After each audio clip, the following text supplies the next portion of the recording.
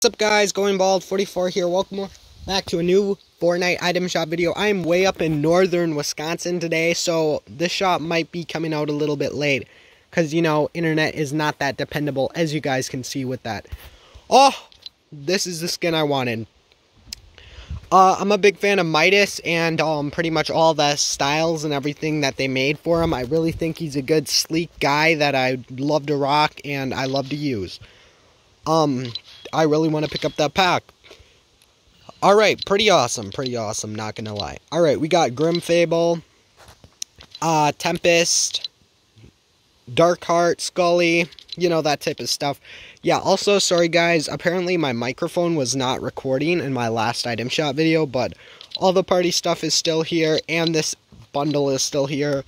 Cowboy stuff, this is, this dude's pretty cool. Desperado's also pretty cool. I got him like a year ago now.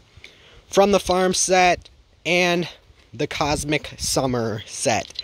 And this new bundle is back. Well, this old bundle is back, so I definitely want to pick up that. Thank you guys for watching. Going Bald, Northern Wisconsin, so you're probably going to see this video very late. Out.